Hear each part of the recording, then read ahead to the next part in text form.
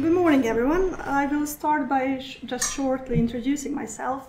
Uh, my name is Anna Jelicic, and I'm a PhD student in general archaeology at the Department of Archaeology in Stockholm. Uh, my primary research interest lies in the Viking Age burial archaeology, uh, in particular the study of the post-cremation practices of manipulation and circulation of remains, and also um, composition of burial urns. Uh, what I'm presenting today is an overview of a paper with the title Natural Choice, uh, in which I'm dealing with the usage of so-called natural products within uh, post-cremation practices.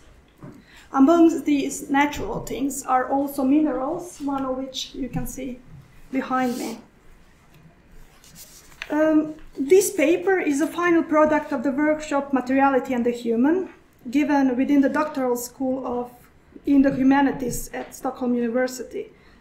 Uh, the main idea behind the workshop was to gather PhD students from different fields within humanities and through a series of writing retreats, seminars, and presentations, produce and present a uh, publishable paper.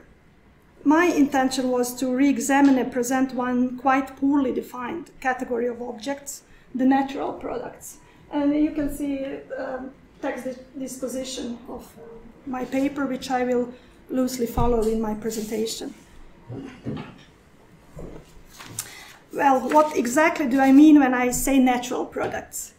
Uh, in Swedish literature, they are called naturalier, and the boundaries of this concept of natural products is poorly defined.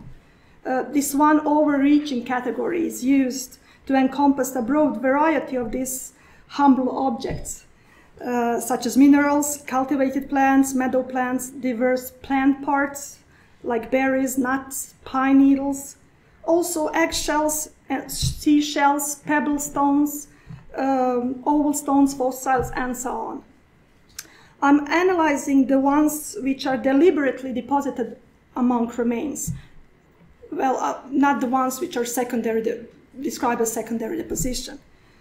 Um, they have traditionally been considered uninterested, not always collected, and with development of different subarchaeological fields, they are usually used for dating and in discussion of food processing, resource use, climate, health, diet, and similar questions. What I perceive as problematic is that this adjective natural clearly carries some rhetorical weight for archaeological discipline how we engage with things. Uh, natural products are thought to be static, low priority, and hard to use as elements around which one can tell an interesting narrative of Viking Age cremation. The overall agenda of my article is to challenge this description and to put forward a rather active place and significance in post-cremation rituals. Here, here you can see examples of, uh, of one example of how little space they traditionally get. This is uh, just few sentences about hazelnuts and fruits in uh, Greta Arwidsson's Birka number two publication. Um, as a point of departure for the further discussion on natural products, I chose Arninge Mound number three, uh, which I will refer to Arninge Mound, just Arninge Mound from now on. Uh, Arninge area, some 20 kilometers north of Stockholm, was heavily exploited in the early, early 80s. And one of these archaeologically investigated and completely removed uh, ancient monuments was the Arninge Mound, uh, which is not on this picture. Uh, centrally, under the covering stone layer, an impressive undisturbed cremation layer was discovered holding as much as 90 liters of cremated bones. The documentation of the cremation layer is unfortunately really poorly done due to bad weather and uh, some time pressure. Uh, osteological material was analyzed in the 80s as a part of the Monumental Mound project. And this grade, you can see it is listed here among these uh, high status late Iron Age grade, which were analyzed at the time. As you can see, Arninge grave contained remains of five humans and a wide variety of, of other mammal fish, and bird species. The richness of cremated bones, both in quantity and in variation of species represented, together with the grave goods of exceptional quality, were taken as an indicator of the high status of the deceased.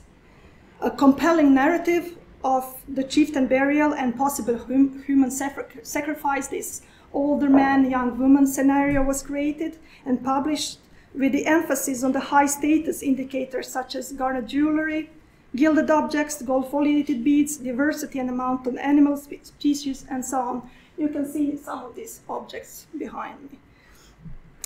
Uh, this narrative of cremation, which was molded around the high status objects and sacrifice, completely dominates the narrative of Arninge and lives vividly even today in the popular imagination, which is witnessed by this uh, newspaper from 2016 in which Arninge is described as a place where people were sacrificed to gods.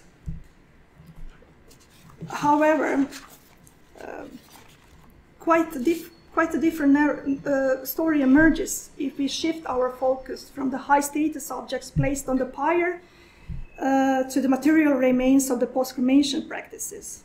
In this narrative, the natural products are the essential element. After the pyre was extinguished, three burial urns uh, were composed and deposited in cremation layer. Uh, the composition of these urns is far from being a representative sample of the richness of material found within the cremation layer itself. They are poor in artifacts and low in bone quantity. Furthermore, all three burial urns contain natural products in the form of rich plant remains, both, both uh, cultivated and wild species. And also the unburned eggshell or eggs were placed among the remains into the, of these urns. Um, the choice of plants in urn was of different character for each urn.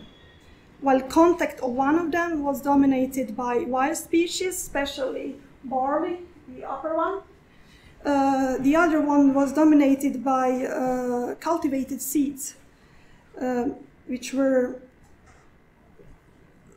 different sorts of domesticated plants with uh, also with insertion of blackthorn fruit and hazelnuts. Uh, the samples from these urns were taken only in order to answer some environmental questions and not to debate cremation practices. Thus, natural products are not mentioned in the main report in any significant way.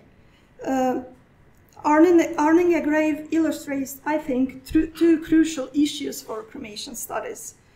A lack of detail in excavation and lack of interest in natural objects which are perceived as less significant in interpretation and publication of final report. Uh, in my opinion, the natural origin of natural products downplays their cultural significance due, due to this false perspective of, on the inexistence of human impact in their modification. However, I argue that these objects are not actually unmodified. One of the examples I use uh, to illustrate modification are these two minerals I'm holding in my hand. Uh, which are found deposited among remains uh, into mounds at Kirsta burial ground. Interestingly, uh, well, I did analysis, and the analysis shows that these minerals are called tremolite, which is not naturally occurring in Kirsta area.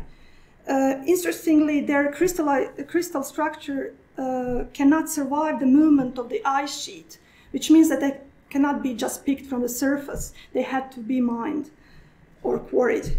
Uh, and the nearest possible candidate is the mine in Nademura, some 30 kilometers away, but they also could have been transported from some destination further away.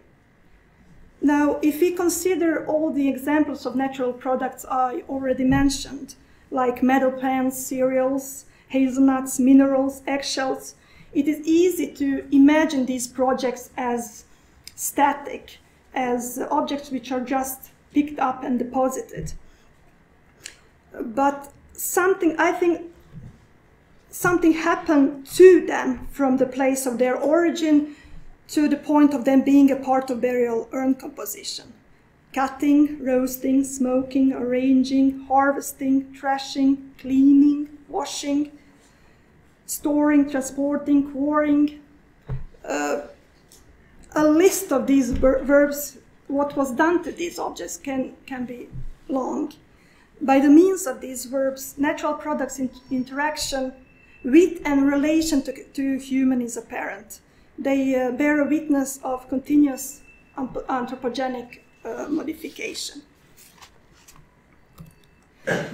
Uh, in my article, I'm describing a variety of examples which demonstrate, which demonstrate around a large range of possible options for the composition and deposition of the Viking Age burial urns.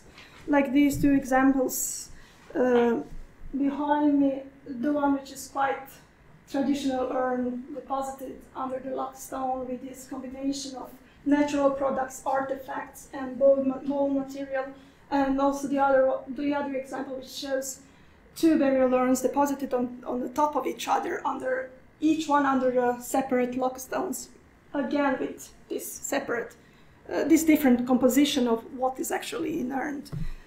Uh, this illustrates how different composition and placement could be perceived as acceptable and efficient, and that placement of natural products among remains was a common sense natural choice in such compositions.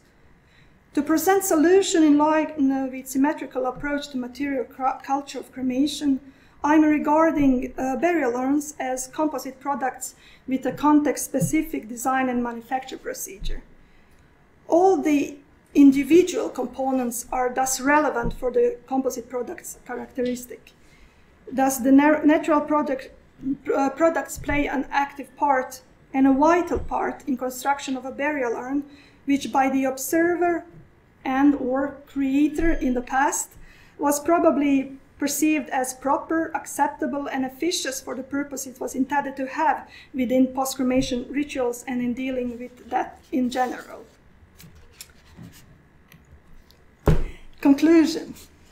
to conclude, natural products have historically been described, uh, described as natural, unmodified, mundane, static, and thus not considered as significant as artifacts in interpretation of funerary practices, and as element of the narrative of the Viking Age, cremation. However, the core concern of my paper is not to dwell upon the history of archaeological discipline. I have argued that natural products bear a witness of continuous anthropogenic modification, and that their deposition among remains was a common natural choice in composition of burial urns, thus making them a significant cultural con content. Uh, by highlighting the existence of significant asymmetry present in the approach to the material remains of cremation practices, I'm pointing toward the need for the integration of the full range of, of detectable evidence of post-cremation practices in interpretation process and narrative cre creation. In my opinion, this integration is needed in order to enhance and balance this somewhat biased narrative of Viking, Age cremation, which is based on artificial, durable, and high status objects. Um, just short, shortly, this conclusion leads us to my PhD project, which is entirely ded dedicated to searching uh, for new means of dealing with our stance to an engagement with material traces of post-cremation practices. I'm uh, in particular, I'm searching for more encompassing ways of approaching the pluralism and potency of natural objects. Um, the project's ambition is to explore the usage of natural products in composition of burial urns through the series of thematic chap chapters like selection, deposition, variation, representation, and at the end to hopefully change narrative of Viking Age cremation. Um, that's it. Thank you for your attention.